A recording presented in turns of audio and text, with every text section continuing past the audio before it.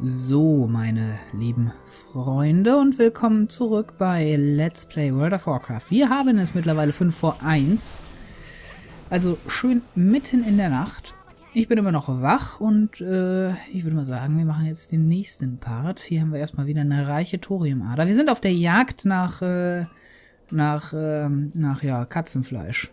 So makaber das klingt. Äh, das war der O-Ton des Questgebers. Ist das da eine Höhle oder ist das eine Höhle? Das sieht doch noch nach einer Höhle aus. Ich weiß, dass es hier irgendwo noch die Quest gibt, äh, sie werden so schnell erwachsen. Das habe ich ja damals auch mit meinem ähm, Magier gemacht. Ihr erinnert euch vielleicht. Lang ist's her. Das ist einer der meistgeklickten, äh, geklicktesten äh, äh, Parts vom Magier. Ähm, weil ich den Part auch genannt habe, sie werden so schnell erwachsen. Und das ist halt der Quest-Text von, von dieser Quest, wo man dann diesen Winterquellsäbler bekommt. Haben wahrscheinlich einige Leute gezielt nachgesucht. War natürlich in der Hinsicht kein Guide, was vielleicht den einen oder anderen damals verstimmt hat, aber äh, ich habe auch, ja, wenn, ich meine, generell habe ich immer oft das Gefühl, dass manche Leute, die ein Let's Play hier sehen, denken, das ist irgendwie so ein Guide oder sowas und das dann entsprechend bewerten. Aber de facto sieht man doch eigentlich schon an der Überschrift Let's Play, dass wir hier eine bestimmte Art von von, von Spielerlebnis haben, das äh, sich nicht anmaßt, irgendwie auch nur ansatzweise irgendwie die Anforderungen an einen, an einen, an einen Guide oder ein Erklärvideo äh, irgendwie äh, zu stellen. Also es ist, äh, also die Anforderung an sich selbst zu stellen, ein entsprechendes Video zu sein. Das ist halt nicht der Fall. Umso entsprechender, umso überraschter bin ich dann halt immer, wenn, wenn dann solche Kommentare kommen. Ich bekomme sehr, sehr viele Kommentare, gerade auf ältere Videos. Das, was äh, ja eigentlich auch keiner von euch mitbekommt, aber da ich ja mittlerweile doch eine relativ große Fülle an Videos habe, bekomme ich dann doch recht regelmäßig Nachrichten auch auf ältere Folgen. Da habe ich dann manchmal auch echt Probleme zu folgen, zu verstehen, was die denn, was die Leute denn eigentlich von mir wollen. Denn gerade wenn es so um ältere Parts geht, ähm, schon wieder ein Blau. Oh, da oben haben wir auch einen Arkankristall bekommen, das ist mir gar nicht aufgefallen.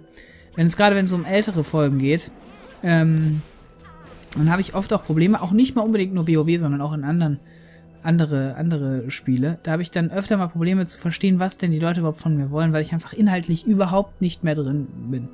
Wenn man zum Beispiel irgendwie eine, eine, eine Folge von, von Gothic nehmen, von Gothic 1, ja, das ist, weiß nicht von wann ich, wann ich das gespielt habe, 2015 vielleicht. Oder sogar noch älter.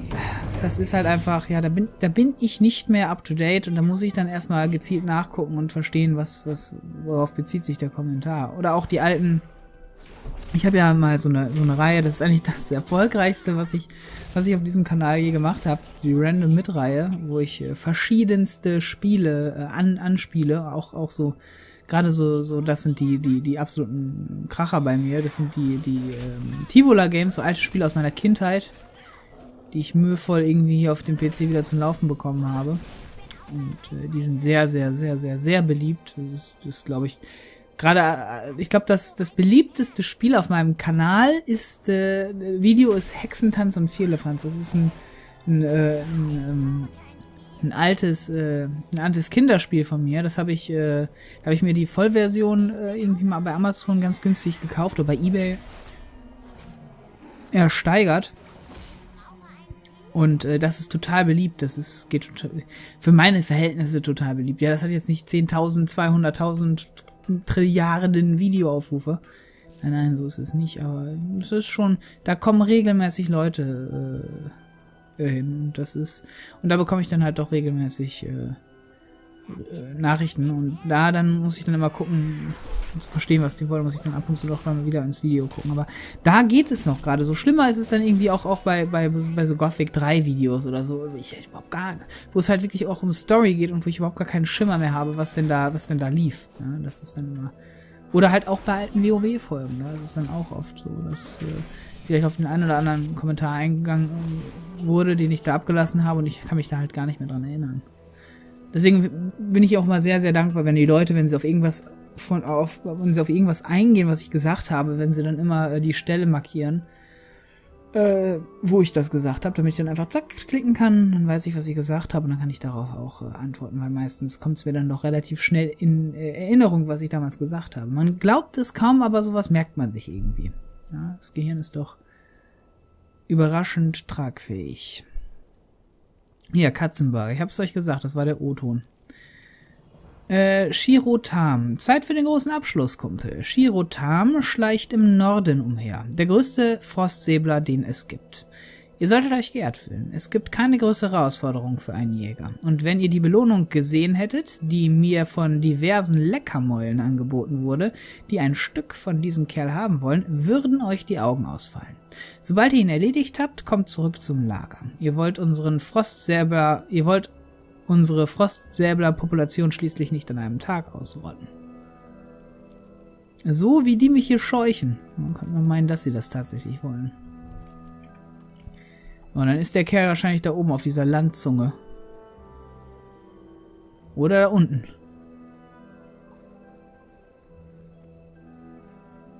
Auf dieser Felszunge, nicht Landzunge.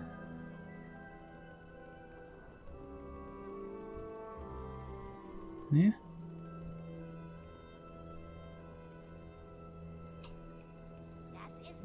Hier ist er.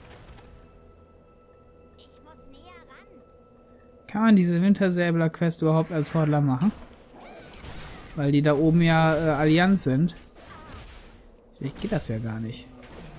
Oder ich muss mir erst einen entsprechenden Ruf erarbeiten. Ich habe auch keine Ahnung. Andererseits weiß ich auch nicht, wie das irgendwie möglich sein soll, wenn ich hier die ganze Zeit doch äh, mir alle Mühe gebe, hier die Wintersäbler-Population äh, wirklich tatsächlich auszurotten, um mal wirklich die Worte wieder des kleinen Goblins äh, zu wählen. Also.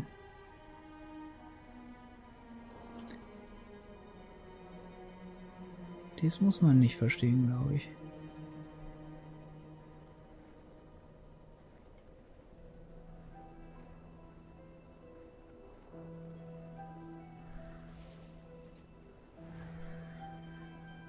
selbst, selbst, selbst um diese Uhrzeit findet man doch hier und dort immer mal wieder einen Kollegen, der hier zockt. Das ist klar in Battle for Azeroth oder in den aktuellen Gebieten ist das immer nicht nicht überraschend, aber hier in den in den Vanilla-Gebieten und gerade vielleicht auch solche abgelegenen Orte wie Winterquell. Winterquell ist jetzt nicht so easy peasy zu erreichbar und da gehen vielleicht geht vielleicht nicht jeder hin und ja, es ist dann doch überraschend hier um diese Uhrzeit jemanden zu sehen. Aber erfreulich. Ich finde das immer schön. Hat irgendwie was Sinnliches, wenn das jetzt kitschig klingt. So, hier. Shirotam. Und hier die Eiswindeier. Äh, Das war's. Sag mir jetzt nicht, wir sind fertig in Winterquell. Ich glaube, wir sind tatsächlich fertig in Winterquell. Das gibt's doch gar nicht. So schnell. Dann bin ich, äh, bin ich wirklich überrascht. Ich hätte nicht gedacht, dass wir Winterquell so schnell abschließen. Aber dann bedeutet das, dass man diesen Winterquell-Säbler als Hordler nicht bekommen kann.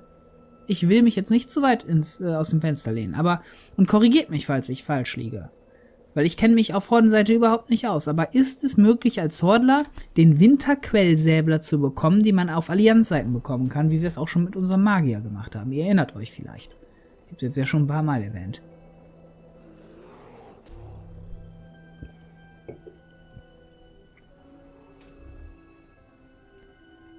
Also ich glaube, das geht nicht als Hordler.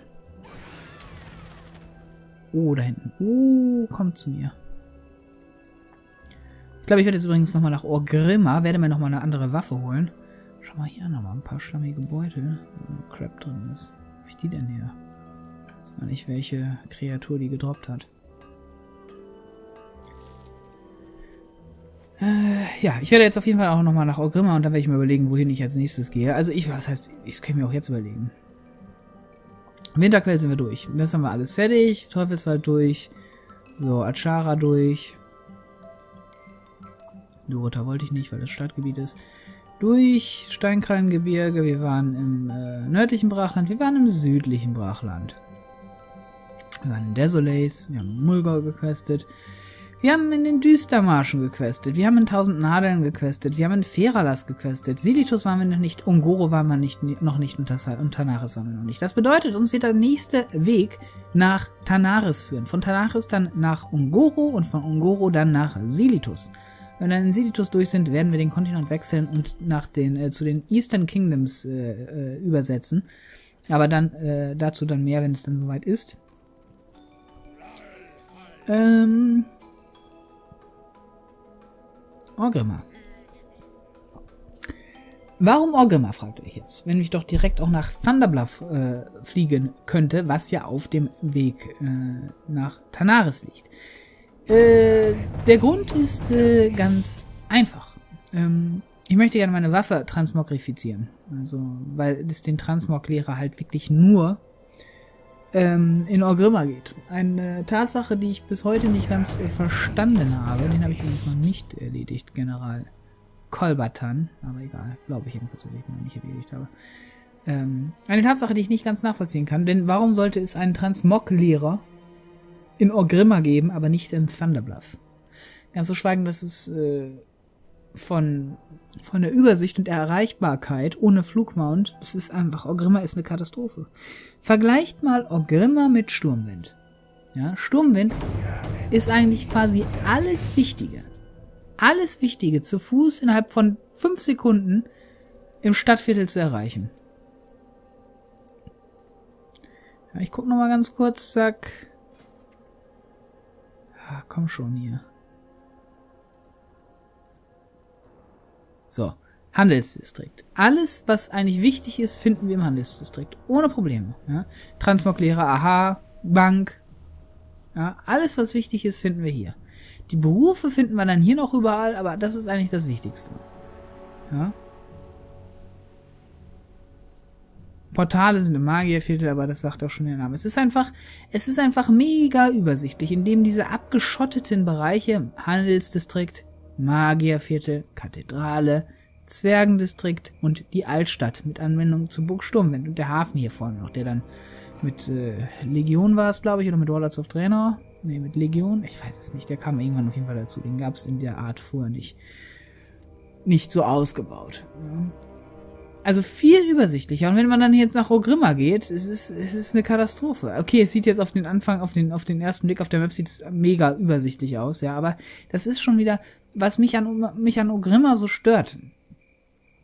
Äh, was auch mein Hauptkritikpunkt ist, ist, dass man, dass es auf so vielen Ebenen ist. Es gibt einen Bereich, der ist komplett unterirdisch. Es gibt das, was auf Ebene, Ebene ab, sich ab, abspielt und es gibt das, was äh, auf oberster Etage ist, wo auch dann der Flugmeister und etc. pp ist. Das ist halt...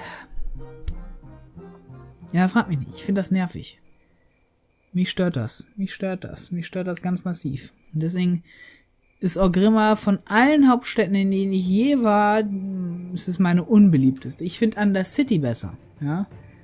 Ich finde, also bei der Horde würde ich sagen, Thunderbluff, Under City, Orgrimmar. Jetzt die Hauptstädte der, der, der, der, der Goblins und der, der, der Blutelfen, ich weiß nicht mal, welche Hauptstadt die Goblins haben, die zähle ich gar nicht dazu. Ja, also gerade auch von den, von dem, von den Blutelfen weiß ich zufälligerweise, wo sie ist. Ich weiß nicht mal gerade, wie sie heißt. Ja, Silbermond. Ja, das ist auch eine Katastrophe. Aber da kenne ich mich auch überhaupt nicht aus. Ich glaube, Silbermond ist die am wenigsten bevölkerte Hauptstadt in ganz WoW. Auf Seiten der Horde. Kein Schwein geht nach Silbermond. Kein Schwein. Obwohl die sich da im Zweifel echt viel Mühe gegeben haben, Silbermond eine gewisse äh, äh, vielleicht eine Bedeutung zu verschaffen, die Entwickler, aber es ist halt einfach, es, es ist eine tote Haupt, es ist eine tote Stadt. Ja. So wie sich in WoW die Hauptstädte auch immer wieder verschoben haben, so ist auch Sturmwind und auch Orgrimmar, die sind immer irgendwie im Mittelpunkt geblieben. Es sind immer die Festungen in Azeroth geblieben. Also wenn es um Kalimdor und die östlichen Königreiche geht, da war da, da ist einfach eine Tatsache, da war einfach Orgrimma und auch äh, Sturmwind. Das waren halt einfach zwei feste Konstanten, die immer da waren und die auch einfach wahrscheinlich immer da bleiben werden. Ja, ganz einfach. Das ist gar nicht. Ach, das sind einfach nur hier Haustiere. Ne, ich nehme jetzt keine Haustier-Quest-Gedöns-Geschichten an.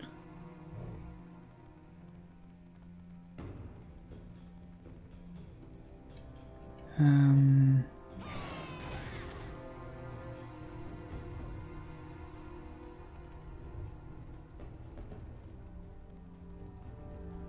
Jetzt erstmal kurz die Post leeren. Uh, wir sind es tatsächlich alles losgeworden. Den Stab nicht.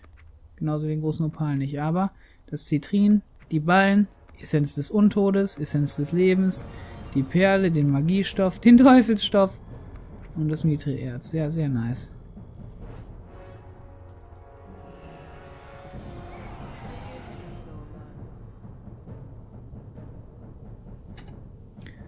Makro. Ich habe ja noch mein Schrott-Makro.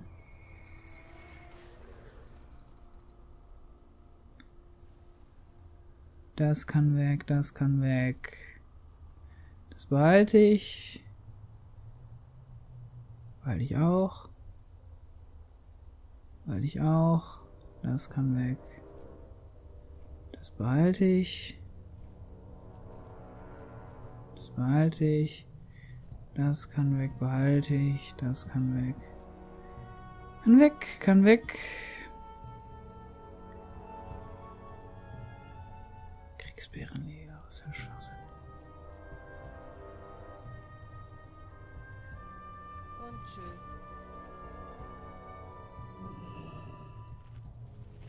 Jetzt muss ich mal ganz kurz gucken. Ich habe ja noch Silberdietrich, aber ich glaube, mit diesen Silberdietrichen bekomme ich diese echt Silber... Echt Silber, es ist ja nicht mal echt Silber, aber diese äh, Stahlschließkassette bekomme ich damit nicht auf, oder?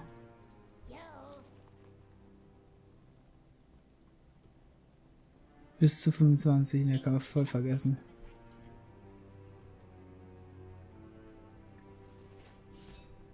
ist ja ein schlechter Scherz, ey.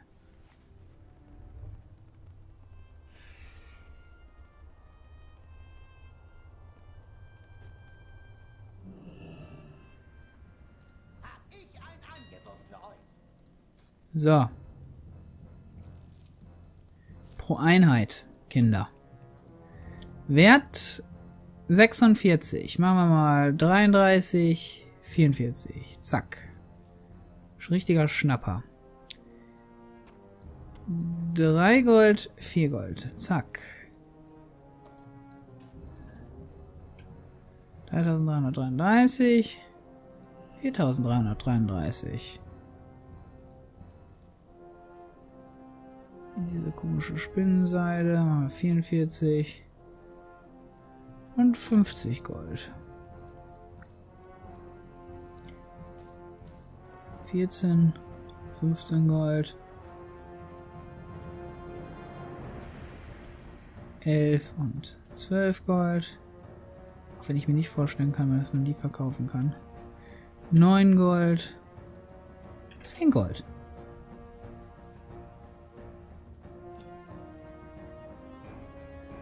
Äh, 98. 99. Dann machen wir mal zwei Stapel. Ich verkaufe die einzeln. So, echt Silber. 11, 12. Ein Gold, zwei Gold. 48. 49. 2 Gold, 3 Gold. Boah, dickes Leder, das war ganz schön viel wert. 19. Da wird der Price auch nicht gedumpt. 209, da habe ich ja irgendwo gerade noch einen Arkan-Kristall bekommen. 298. 298. 299. Arkan-Kristalle gehen weg wie warme Semmels. So. Die sind nichts wert, aber 95 und 0 90 94 zack ja die habe ich äh, für ziemlich viel für weitaus mehr verkauft letztens Äh, 65, ja. Zack. So, das verkaufe ich jetzt richtig billig zu verkaufen. 50. Weil uns das ja auch nur 100 Gold gekostet hat oder so. Hoffen, dass das jemand wegsniped und denkt, dass es mega was Seltenes. Das wäre sehr schön. Gut, liebe Leute, ich mache an dieser Stelle Pause. Äh, Im nächsten Part machen wir weiter. Winterquell ist damit durch, liebe Leute. Und äh, ja, wir hören uns bei der nächsten Folge wieder. Macht's gut, bis dahin. Ciao.